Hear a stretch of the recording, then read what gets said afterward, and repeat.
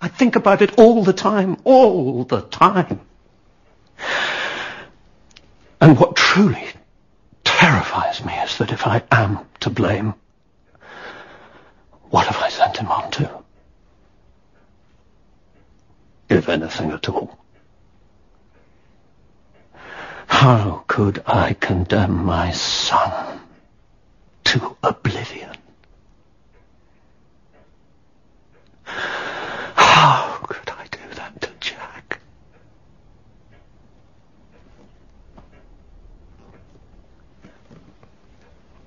But I miss him.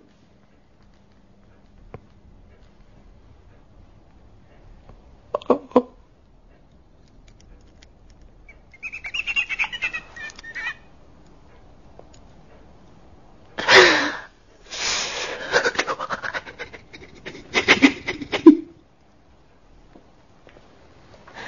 I can feel his head on my chest. I can feel his thick hair under my fingers. I can hear him laugh. I can feel his heat against me.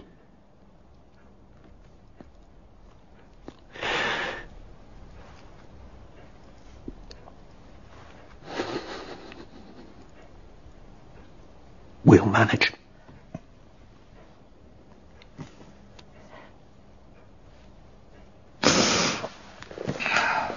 Oh, yes, we'll manage. I don't doubt that.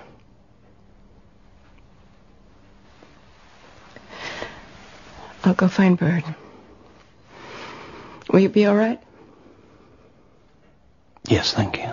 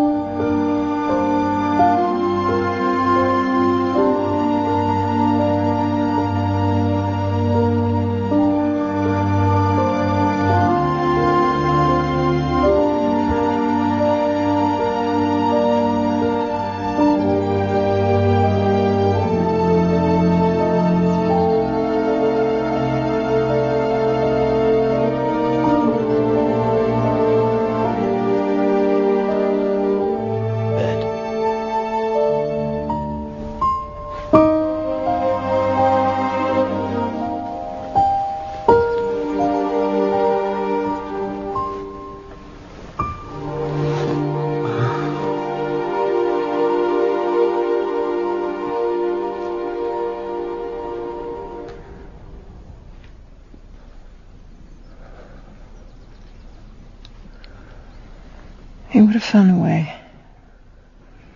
Even if you tried to stop him. He was where he wanted to be. I know that.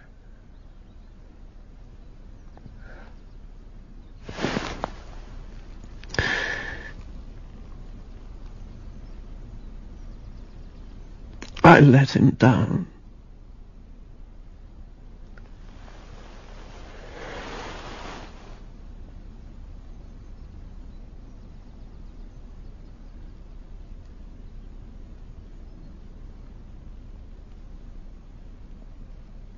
want a story. Yes, please.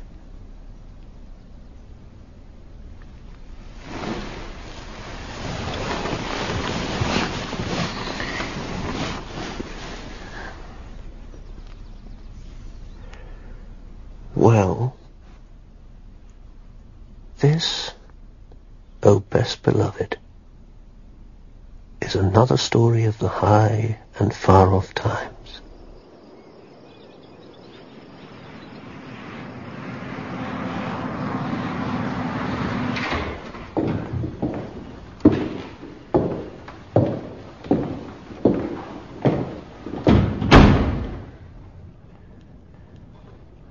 I didn't time you, I'm afraid.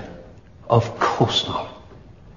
It was awful slow anyway. I was stuck behind a herd of cattle for half an hour. Bugger all you can do about that.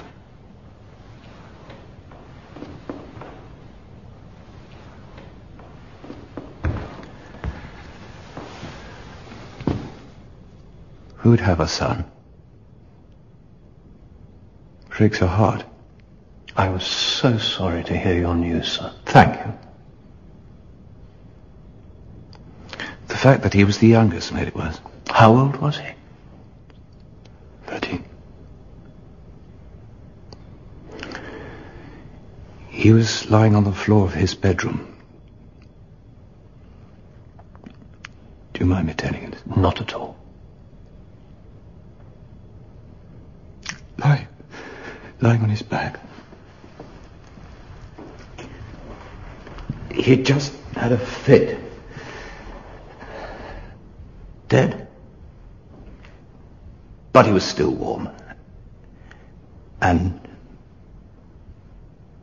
that was a great relief. I'd have hated to have had.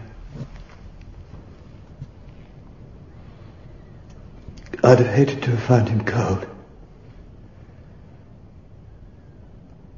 Does that seem odd? No.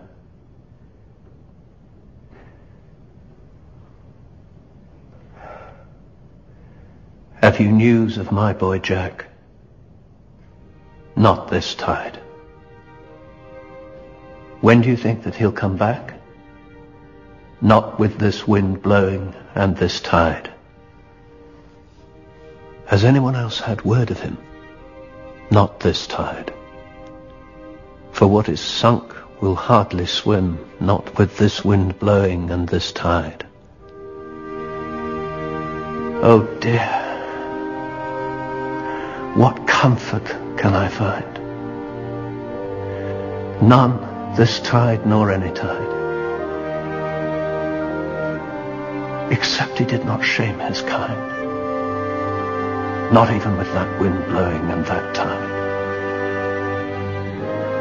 Then hold your head up, all the more this tide and every tide.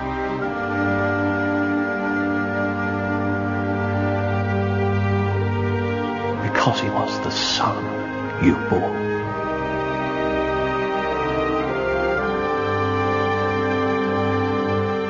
And gave